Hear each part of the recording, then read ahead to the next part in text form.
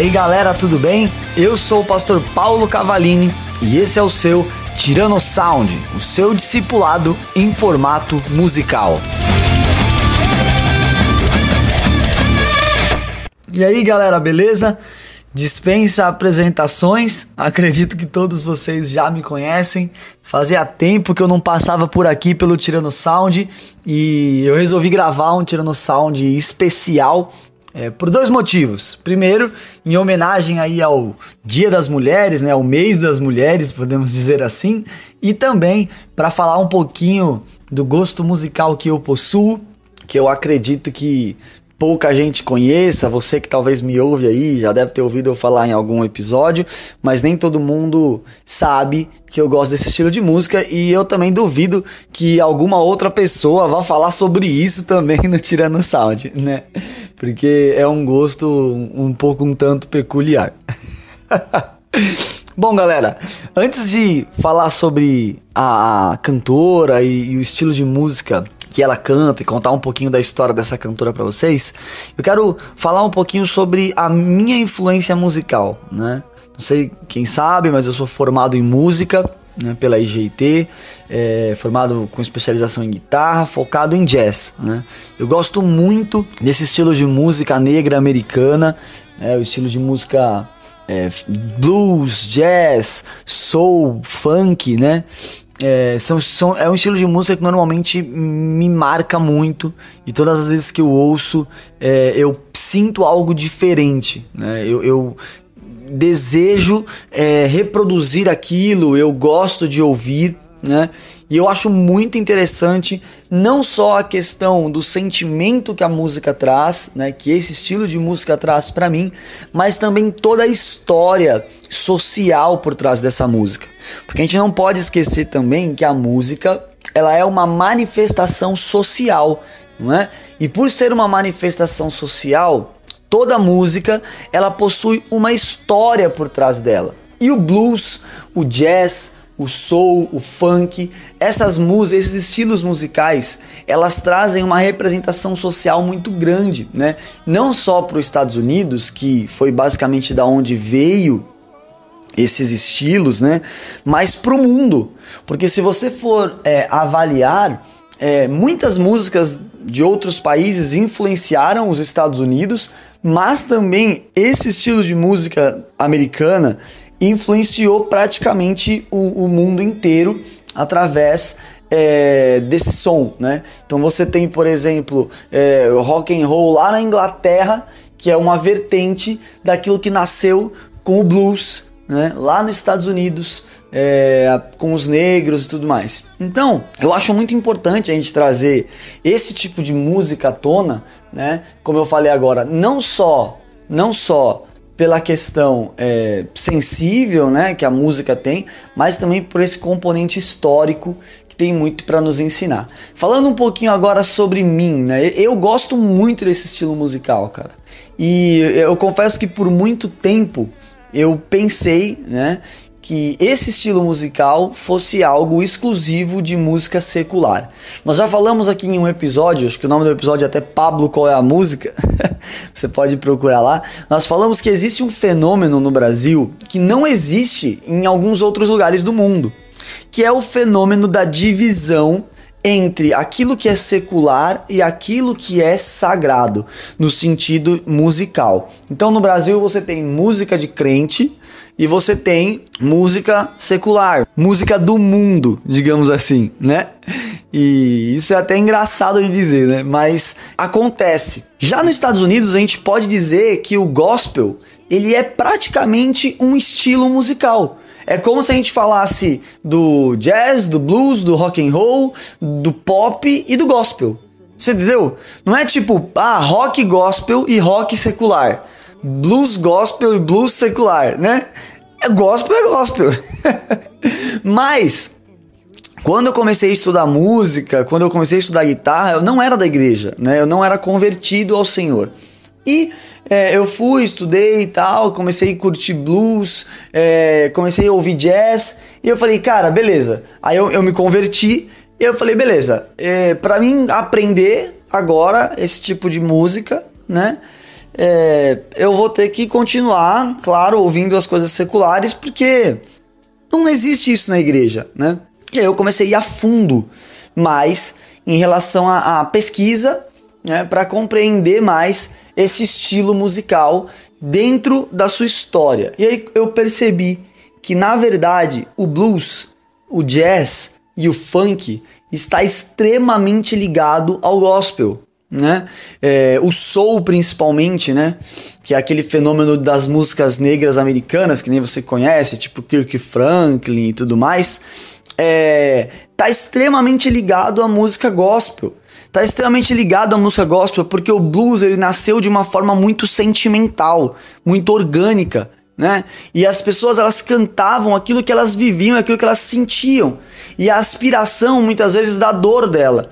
E isso refletia na fé também, né? Então, o gospel music sempre esteve muito presente nesse estilo musical. E aí, cara, eu comecei a descobrir um monte de cantores de blues que cantavam gospel, né? Eu comecei a descobrir um monte de, de cantores, de, de pessoas que tocavam funk, é, blues, que tocavam é, esse estilo de música e que compunham letras para o Senhor e que escreviam letras falando de Deus, sabe? Falando do Evangelho, levando a salvação e que é, muitas vezes tinham atitudes que a própria igreja repreendia.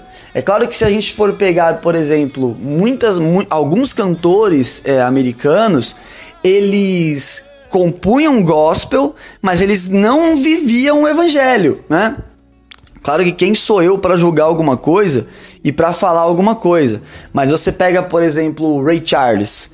O Ray Charles ele escreveu entre as músicas dele, ele escreveu algumas músicas gospel, né? E ele tocava essas músicas gospel em bares, né? Em clubes, em pubs e, e, e até em boates, né? E lógico, a igreja na época fez até protesto contra ele. E ele era um cara que ele não, não era servo de Deus, ele, não andava com Deus, né, de forma assim próxima, não era um evangelista, nada do tipo, mas é, ele tava ali levando uma música gospel, falando de Deus dentro de um pub, dentro de um clube, entendeu?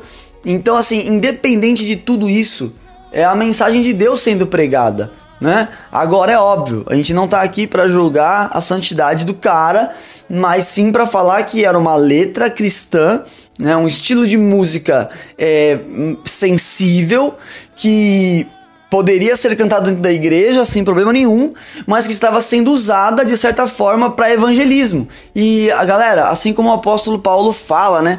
Deus tem propósitos que a gente não, não nem sonha. Então, eu não duvido que alguma pessoa tenha dentro de um pub, de um clube, ouvido Ray Charles cantar um gospel music e sido marcada pelo Espírito Santo, saído de lá e procurado uma igreja, se convertido e mudado a vida dela. Você tá entendendo? Eu não sei se isso aconteceu, não tem nenhum relato que eu saiba, mas eu não duvido que isso tenha acontecido. Porque eu já conheci pessoas aqui no Brasil que se converteram ouvindo música secular. Olha que loucura. Não era nem música gospel. O cara se converteu ouvindo música secular. Teve um amigo meu uma vez que me procurou e falou que Deus falou com ele ele tava ouvindo Charlie Brown Jr. Mano, o cara ouvindo Charlie Brown Jr., Deus falou com o cara, velho. Então, assim, eu não posso barrar o Espírito Santo, né? Então, se esses cantores foram importantes para levar o evangelho, é, independente da sua fé pessoal, né, ou enfim, da, da sua prática de vida, eu não tô aqui para julgar. A verdade é, o gospel music era algo muito frequente dentro do blues, do soul e do jazz. Isso é fato. E a cantora que eu quero apresentar para vocês hoje, até falei que foi que é em homenagem ao, ao, mês das mulheres, digamos assim, né? É uma cantora que nós já citamos ela aqui uma vez, há muito tempo atrás, no primeiro episódio que a pastora Paulitias ela gravou com a gente, nós citamos um pouco dessa cantora, que é a Sister Rosetta Tarp, né? Irmã Rosetta. Se fosse aqui no Brasil, né? Ia ser a irmã Roseta, né? É, para contar um pouquinho da história dela para vocês, eu quero só citar alguns acontecimentos que eu acho que é, é relevante pra gente aprender um pouquinho sobre ela, né? É, ela nasceu na, no Arkansas, lá nos Estados Unidos, né?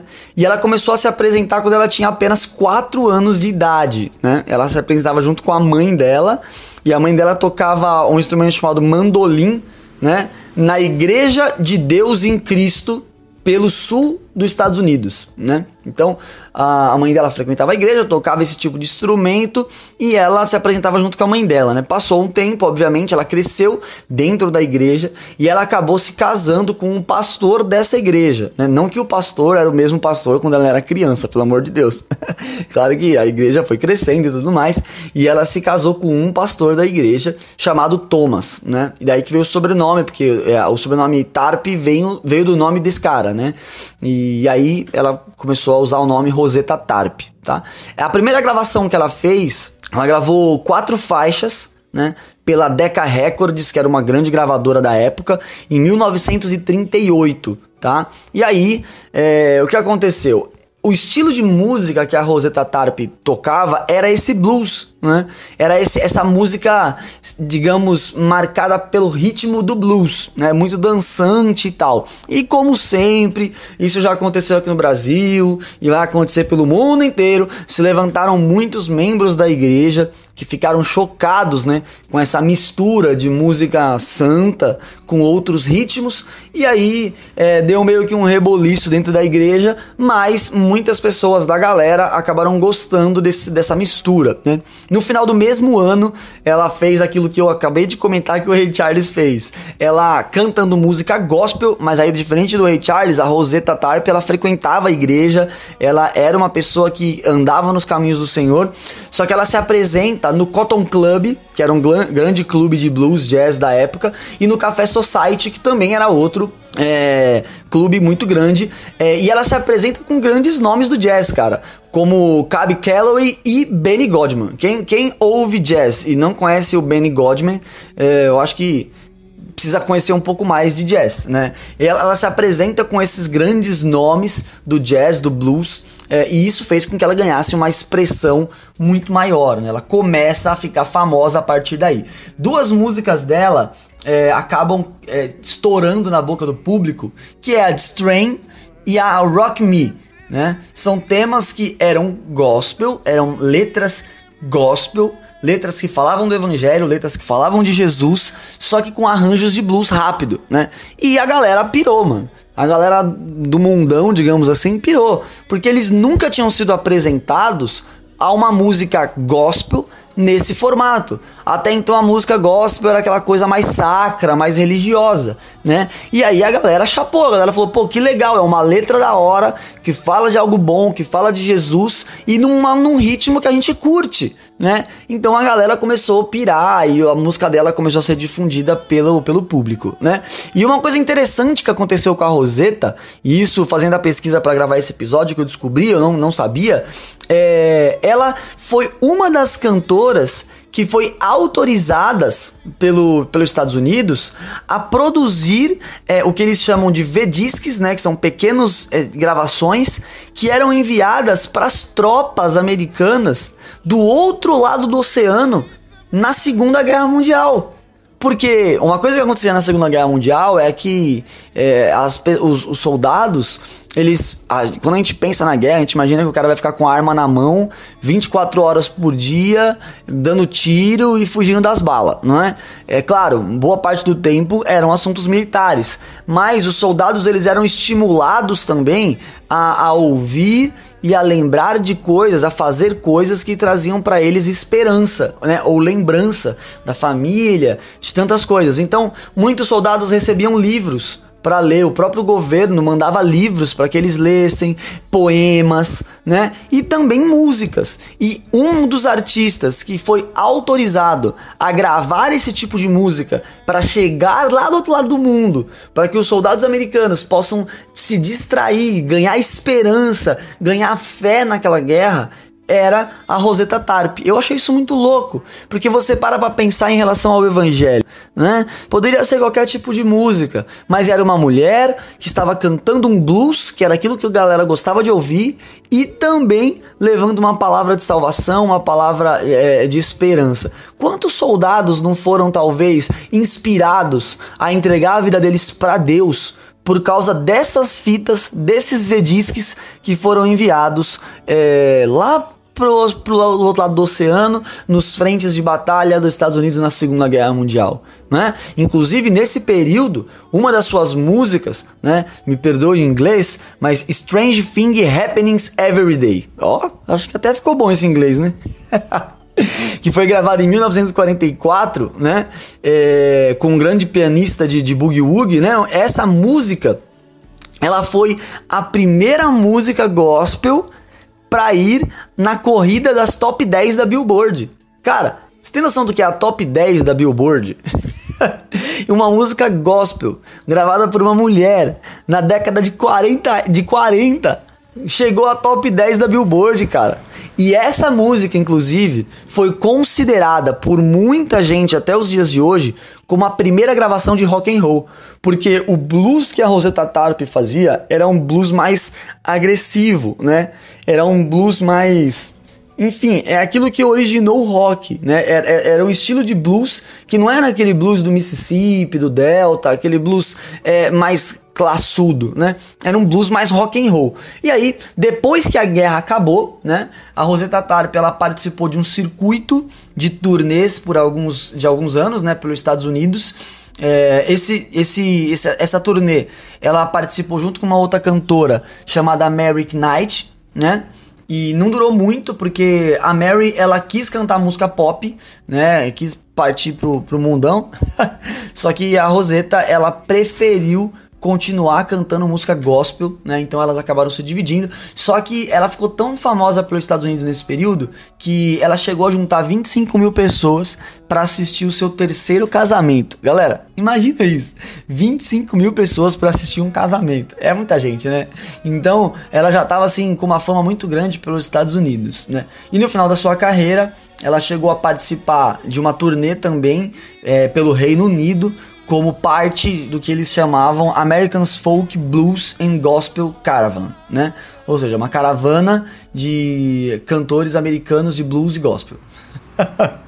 né? E inclusive nessa caravana tinha um, só um carinha chamado Muddy Waters, né? Não sei quem, quem conhece, mas quem gosta de blues e não conhece Muddy Waters, pelo amor de Deus, né? Corre para conhecer porque é um clássico dos clássicos, né? E aí a Sister Rosetta, ela parou subitamente de se apresentar, né? Em 1970, quando ela teve um derrame por conta da diabetes, inclusive ela teve até uma perna amputada nesse derrame, né?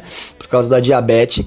E ela acabou morrendo em 1973, depois de um segundo derrame também. E em 2007 ela recebeu a honra de ser é, introduzida ao Blues Hall of Fame, né?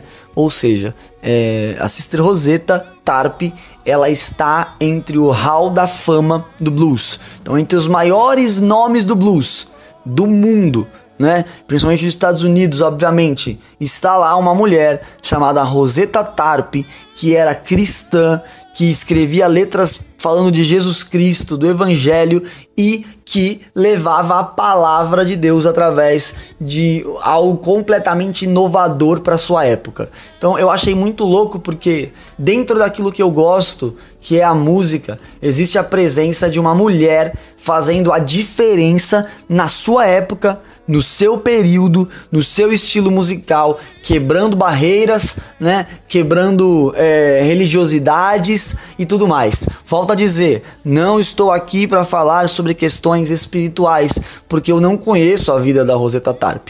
O que eu sei é que, com certeza, Deus usou a música da Rosetta Tarp para levar o evangelho para muitas pessoas, inclusive para o outro lado do mundo, né, durante uma grande e terrível guerra como foi a Segunda Guerra Mundial. Então, galera, eu quero que vocês fiquem agora com o som da Sister Rosetta Tarp, que foi gravado em 1964 ao vivo, né, do disco Blues and Gospel Train. A música é Didn't It Ran. Então, eu quero que vocês ouçam aí e espero que vocês gostem, né? Eu sei que o som é um pouquinho de velho, mas espero que vocês gostem.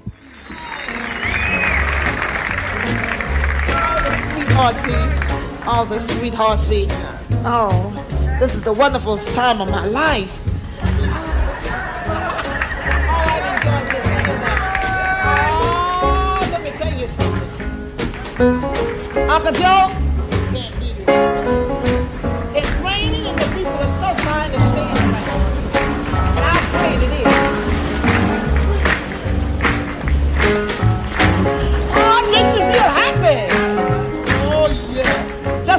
To know we start in the rain and sing. And the people are so sweet to stay oh, here. Oh, sweet. And I come in on a. Yeah. Let me tell you what I come in on. Oh yeah!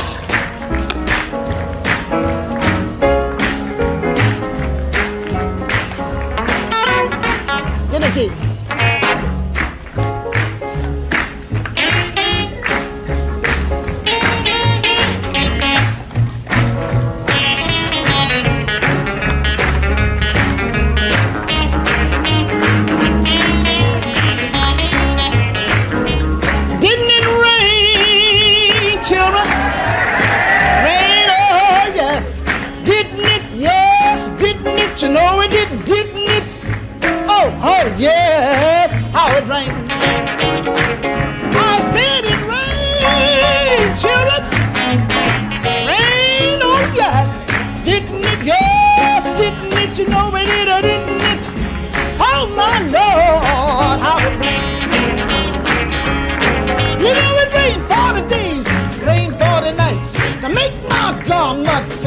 right.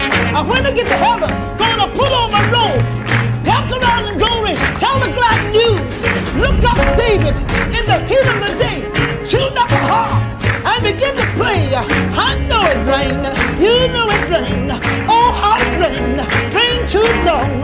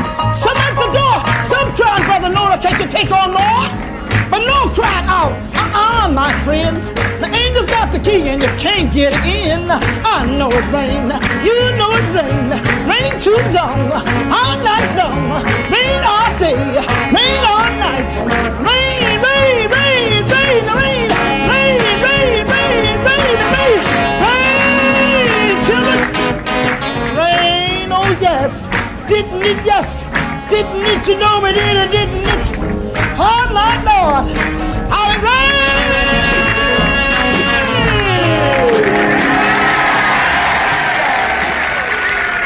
É isso aí, galera. Espero que vocês tenham gostado. Som muito envolvente, muito legal e muito nostálgico, né?